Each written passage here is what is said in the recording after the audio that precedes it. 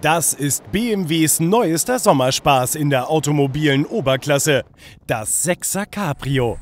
Die Optik wirkt jetzt filigraner, schlanker als beim Vorgänger. Und endlich vorbei die Zeiten klobigen Kofferraumdeckels mit Höcker. Trotz feinerer Optik ist der neue größer geworden. Rund 7 cm länger und knapp 4 cm breiter steht der 6er nun da. Zum Serienstart am 26. März gibt es zwei Motoren. Natürlich mit mehr Leistung und, Sie ahnen es, weniger Verbrauch. Zum einen den schon im 5er und 7er verbauten Achtzylinder mit 4,4 Litern Hubraum und 407 PS. Die Alternative? Ein 3 Liter Doppelturbo-Reihen-Sechszylinder mit 320 PS. Der Achtzylinder knackt die 100 km/h-Marke nach 5 Sekunden. Der Sechszylinder braucht 0,7 Sekunden länger. Übrigens sind diese Beschleunigungswerte leicht machbar. Dank serienmäßiger 8-Gang-Sportautomatik reicht beherztes Gaspedal bis zum Bodenblech durchtreten. Beide Autos sind elektronisch bei 250 km/h abgeregelt. Wer die Power gerne auf kurvigen Sträßchen ausreizen will, sollte sich für 2000 Euro die Integral-Aktivlenkung gönnen. Der BMW hat damit eine optionale Allradlenkung, sprich die Räder an der Hinterachse lenken mit. Ergebnis: mehr Dynamik am Kurvenein- und Ausgang. Dazu passend die jetzt deutlich steifere Karosserie.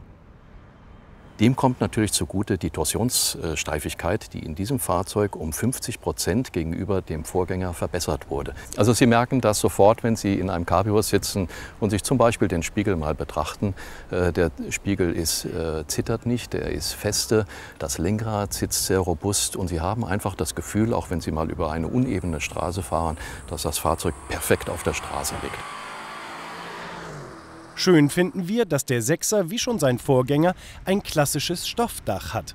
Das lässt sich bei bis zu 40 km/h öffnen oder schließen. Selbst mit geschlossenem Verdeck passt die Figur.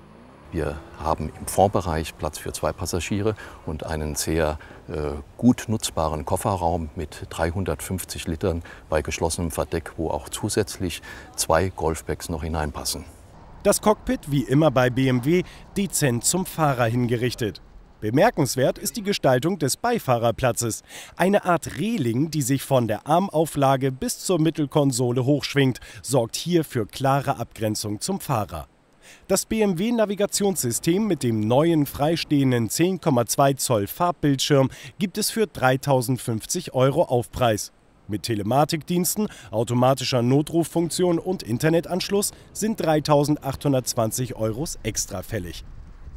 Etwas schade, aber wohl als Zugeständnis an Sicherheit und Verwindungssteifigkeit unvermeidbar die recht dicke A-Säule. Das hat zu tun mit Steifigkeit, vor allem mit den äh, integrierten Airbags. Äh, aber formal her braucht das Auto auch eine Stabilität an der A-Säule. Also wir kommen mit den Flächen natürlich von der A-Säule an und äh, wir kriegen einen Fluss von diesem Band Richtung A-Säule. Diese formale Stabilität braucht man für so ein großes Auto. Allerdings das Vergnügen wird wohl eher gut situierten Autofahrern vorbehalten bleiben. Der Einstiegspreis für das bayerische Edelcabrio fängt bei 83.300 Euro beim Sechszylinder an.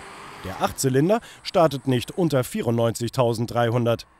Wer das Auto dann mit Extras vollstopft, landet leicht bei 100.000 und mehr. Ein Kassenschlager war der Sechser bisher bei uns nicht. Ob der neue das Zeug zum größeren Fisch im automobilen Ozean hat, wird sich ab Ende März zeigen.